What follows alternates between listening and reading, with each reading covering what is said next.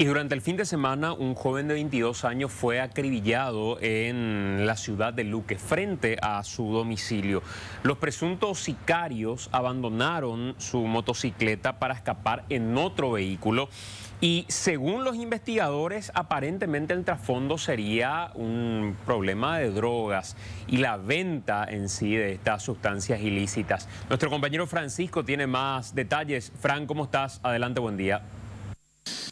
Así es, compañeros, continuamos aquí en la zona del barrio 3 de Mayo de la ciudad de Luque, donde el sábado se había dado este terrible crimen, eh, donde resultó víctima Roberto Rojas, de, de 22 años, quien estaba frente a su vivienda, ubicada aquí en este callejón de dicho barrio de Luque, conversando con otra persona que había llegado en un vehículo. En ese momento se acercan otros dos hombres a bordo de una motocicleta, donde el acompañante desenfunda una pistola calibre 9 milímetros y realiza varios disparos contra el dueño de casa.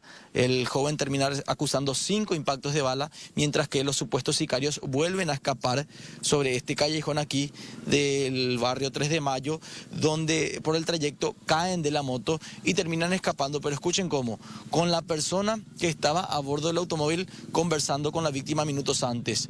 Ya teniendo en cuenta esto, llega la policía al sitio, levantan como evidencia las vainillas servidas del arma utilizada, así como también la motocicleta de los presuntos sicarios. Eh, la investigación hasta el momento arroja que el supuesto o el presunto trasfondo, el móvil del crimen, sería un ajuste de cuentas con relación a la venta de drogas. Escuchemos lo que decía al respecto el comisario Jorge Piñanes.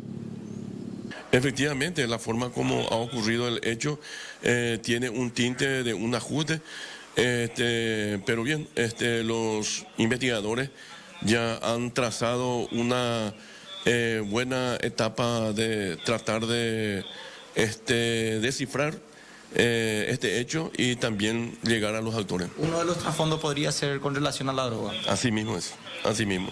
¿La víctima contaba con antecedentes? La víctima este, se le realizó una prueba de API para conocer en vista de que, según familiares, nunca tuvo eh, documentaciones y al transcurso del día ya vamos a tener eh, los datos precisos de la víctima.